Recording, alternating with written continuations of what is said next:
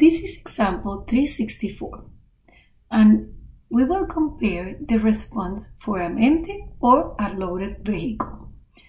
An automobile weighing 1000 pounds empty and 3000 pounds fully loaded vibrates in a vertical direction while traveling at 55 miles per hour on a rough road.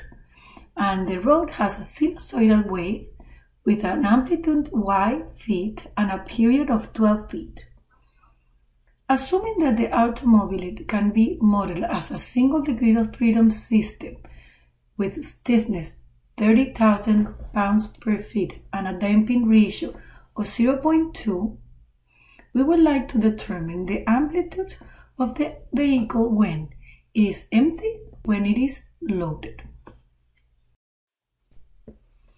When the vehicle is empty, it weighs 1000 pounds. This will allow us to find the mass of the vehicle.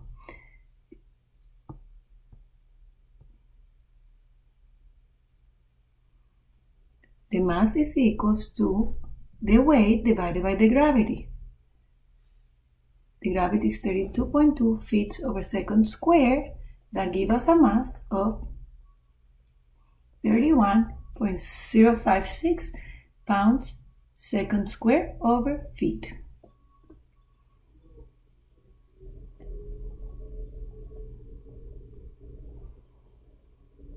We have the constant of the spring, which is 30,000 pounds over feet.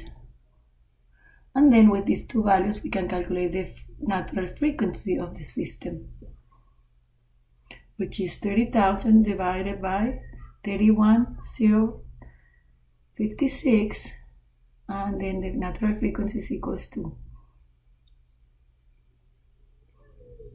3108 radians over second.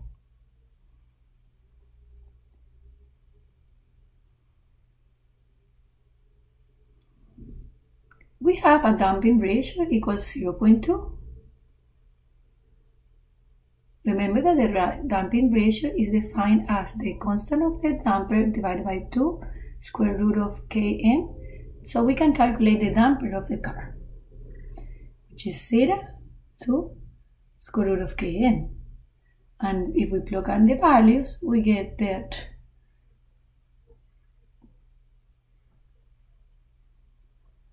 the constant of the damper of the car is equals to 3 86.09 pounds seconds over speed.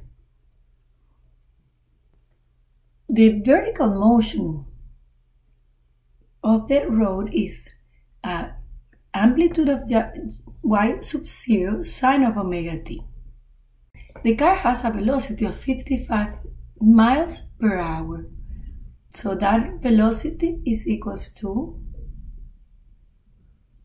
5,280 to convert miles to feet and 3,600 to convert feet in seconds.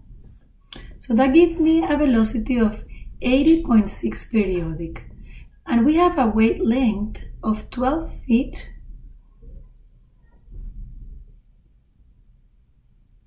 it means that the frequency is the velocity, which is 80.6 periodic divided by 12, and give me a frequency of 6.72 Hertz. The circular frequency is 2 pi times the frequency, which is then 2 pi times 6 to 72, and give me a value of 42.24 radians over second.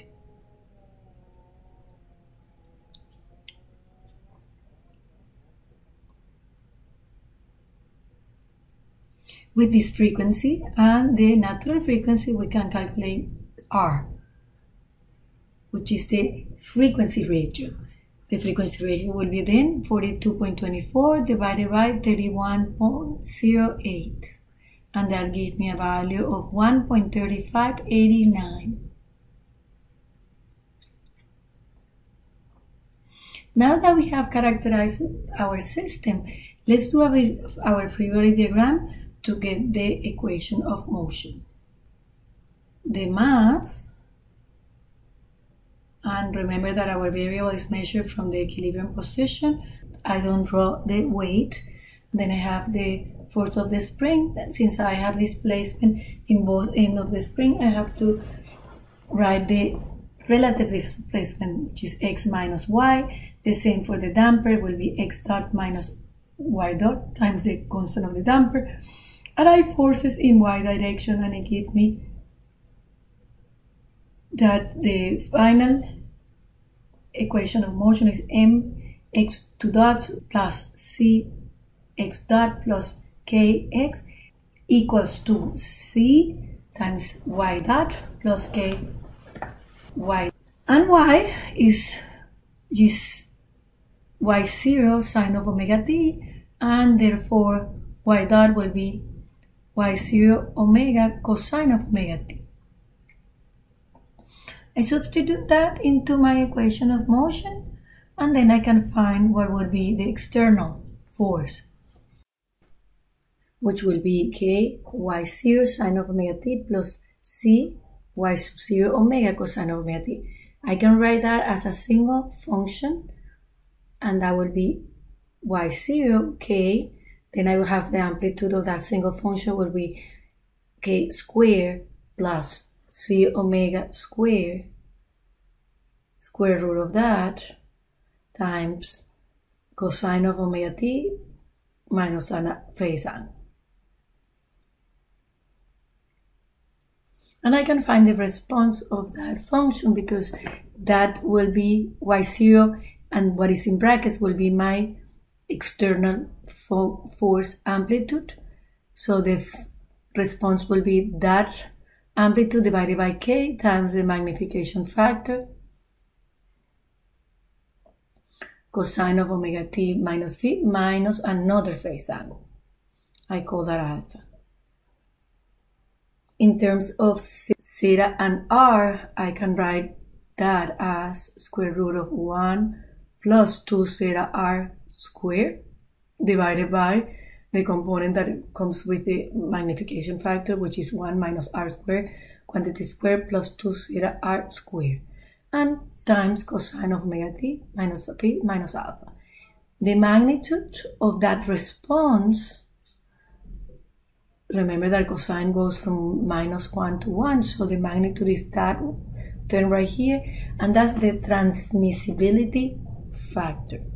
I can brand in the relation between the response of the car and the amplitude of the waveform of the road as the transmissibility factor.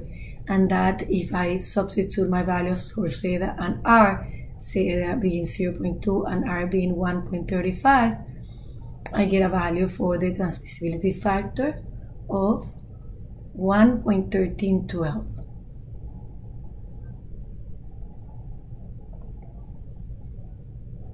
That means that for that specific damping ratio and ratio of frequency, the amplitude of the vehicle is magnified by a factor of 1.1312.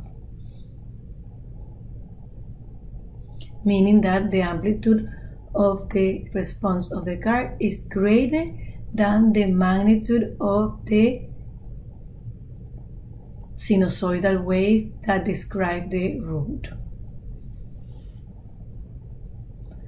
Let's now do it for the loaded car.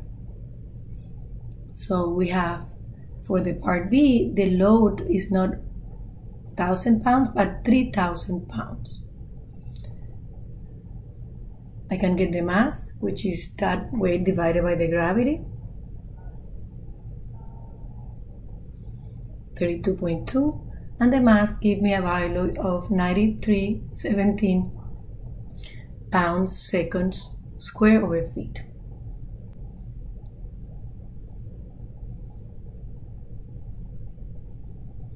We are keeping the same constant of the spring, which is 30,000 pounds over feet. Then we can get the natural frequency of the system, which is square root of k over m and that gives me a value of 17.94 radians over second.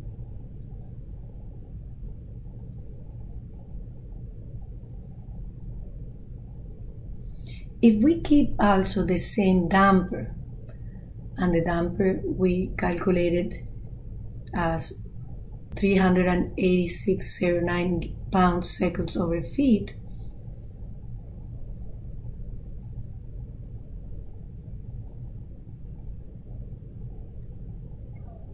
we can get a new zeta. Zeta, as you remember, is defined as the constant of the damper divided by 2 square root of km. I plug in the values, which is the 386.09 divided by 2 square root of 30,000 times 93.17 and that gives me a value of zeta equals to 0.1154. Notice that as soon as we increase the load, the damping of the system changed. In this case, we can see that it's less damping because we increase the mass.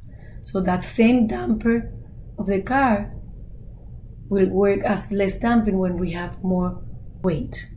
The damping ratio is then the frequency that is given 42.24 divided by the natural frequency that we just calculated. And we have the R is equals to 2.3537 we have the same free body diagram the same equation of motion and the same response. And then we have the same equation for the amplitude which is x over y the relations of the amplitude is equals to the transmissibility factor. Square 1 plus 2 zeta r squared divided by 1 minus r squared all the square plus 2 zeta squared.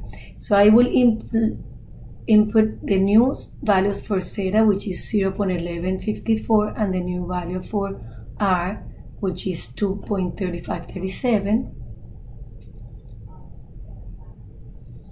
and I get a new value for the transmissibility factor,